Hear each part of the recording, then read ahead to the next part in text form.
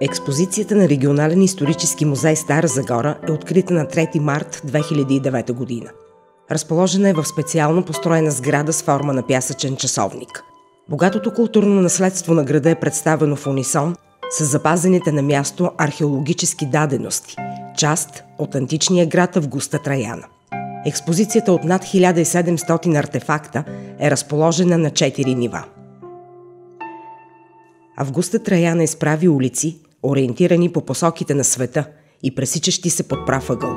Те са заслани с масивни камени плочи и почти под всички преминават солидно изградени канали и водопроводи. Защитаване от мощна укрепителна система. Най-използваното транспортно средство през римската епоха са колесниците – четириколки и двуколки. Украсени са с изящни сребърни и бронзови апликации. Градът и прилежащата му територия се отличават с изключително богат и разнообразен религиозен живот. През трети век варварското нашествие на готите разрушава Августа Траяна, но градът отново е възстановен през четвърти век с името Берое.